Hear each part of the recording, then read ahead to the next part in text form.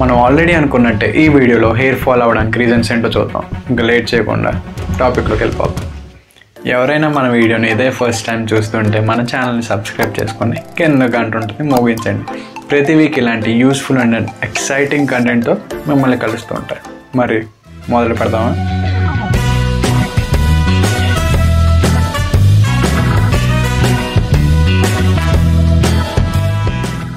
Hello darlings నేను మీ అన్వేష్ని ఇప్పుడు మనం main reasons for hair fall ఏంటో చూసేద్దాం. ఫస్ట్ మోస్ట్ కామన్ హెరిడిటరీ అంటే జీన్స్ వల్ల వచ్చేది. మన జీన్స్లో కానీ ఎవరికైనా ఈ బాల్డ్నెస్ ఉంటే మనకు కూడా వచ్చే ఛాన్స్ అయితే ఉంటుంది. దీనికి ట్రీట్మెంట్ లేదంటే ఎస్ దీనికి ఉంది. మనం ఎంత త్వరగా దీనికి ట్రీట్మెంట్ తీసుకువెళ్తే అంత హెయిర్ని మనం సస్టైన్ చేసుకోవచ్చు.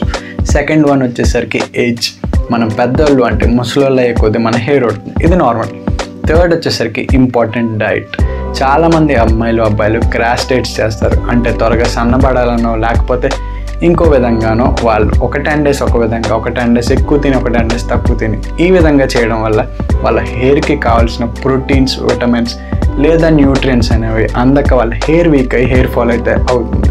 సో డైట్ అనేది చాలా ఇంపార్టెంట్ విషయం. హెయిర్ బ్యూటిఫుల్గా ఉండడానికి.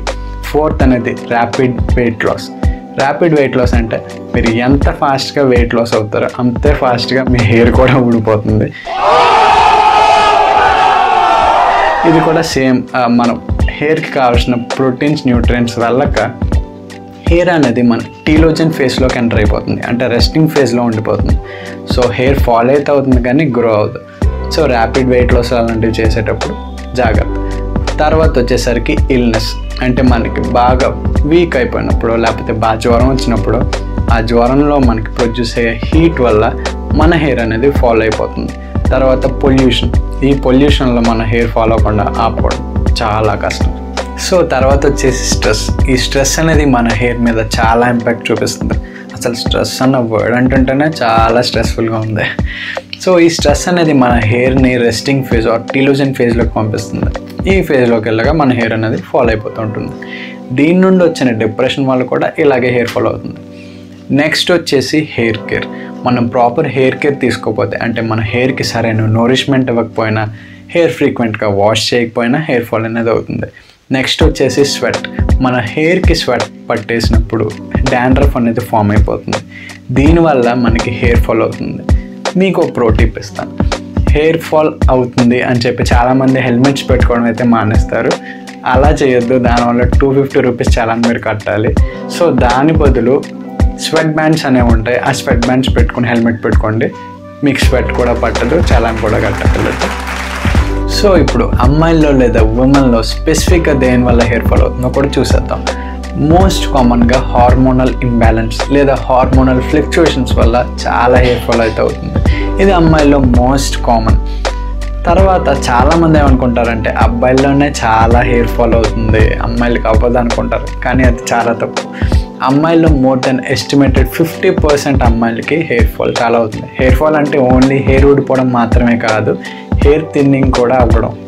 సో ఇలా అమ్మాయిల జుట్టు థిన్ అయిపోయి వీక్ అయిపోయి డల్గా కనిపిస్తుంది. సో ప్రెగ్నెన్సీ వచ్చి బేబీని డెలివర్ చేసిన వాళ్ళు కూడా హెయిర్ ఫాల్ ఉంటుంది. ఫార్టీ ఎబో ఏజ్ వచ్చిన ఉమెన్లో కూడా హెయిర్ ఫాల్ అయితే అవుతుంది. అంతేకాకుండా మెనోపాజ్ వచ్చిన ఉమెన్కి హెయిర్ ఫాల్ అవుతుంది. మీరు తీసుకునే కొన్ని కొన్ని మెడికల్ ట్రీట్మెంట్స్ వల్ల కూడా హెయిర్ ఫాల్ అయితే అవుతుంది. ఇవన్నీ కాకుండా నాకు చాలా ఇంపార్టెంట్ పాయింట్ ఏంటంటే hair styling products hair styling products అనేవి హెయిర్ ఫాల్కి పెద్ద కల్పిరేట్స్ మీరు వాడే hair dryers hair gels hair straighteners ఇంకా హెయిర్ డైస్ ఇవన్నీ హెయిర్ని చాలా డ్యామేజ్ చేసి మీ హెయిర్ని చాలా ఫాల్ చేస్తాయి. ఇవి నేను చాలా మందికి చెప్పాను. ఇది వాడితే హెయిర్ ఫాల్ అవుతుంది వాడద్దు అంటే హెయిర్ ఫాల్ అవుతుందని బాధపడుతూ ఉంటారు. దాన్నే వాడుతూ ఉంటారు. సో ఈ హీటింగ్ ప్రొడక్ట్స్ లేదా ఈ ప్రొడక్ట్స్ ఏం చేస్తాయంటే మీ హెయిర్లో ఉన్న ప్రోటీన్స్ని వీక్ చేసి గ్రాడ్యువల్గా మీ హెయిర్ అనేది థిన్ అయిపోయి ఫాల్ అయిపోతూ ఉంటుంది.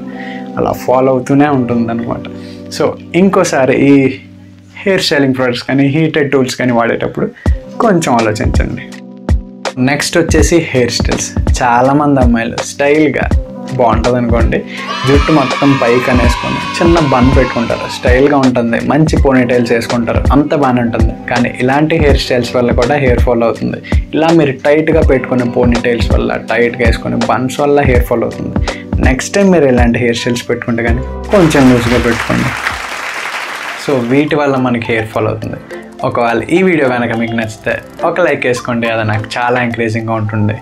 ఎవరైనా సబ్స్క్రైబ్ చేసుకోకపోతే సబ్స్క్రైబ్ చేసి కింద గంట ఉంటుంది మోగించండి. ఈ వీడియోలో మనం మాట్లాడుకున్న ఫేస్ అన్నిటి గురించి మన ప్రీవియస్ వీడియో లేదా ఫస్ట్ పార్ట్లో చూస్తే క్లియర్గా అర్థమవుతుంది ఒకవేళ మీరు ఇదే ఫస్ట్ వీడియో చూసుంటే ఆ వీడియో కూడా చూడండి సో దట్ మీకు ఇంకా బాగా అర్థమవుతుంది. దాని వీడియో లింక్ అయితే డిస్క్రిప్షన్లో మెన్షన్ చేశాను. ఇంకా లేట్ ఎందుకు? చూసేయండి. సో నెక్స్ట్ వీడియోతో మళ్ళీ కలుద్దాం. అప్పటి వరకు కీప్ స్ప్రెడింగ్ హ్యాపీనెస్ ఉంటా మరి. By links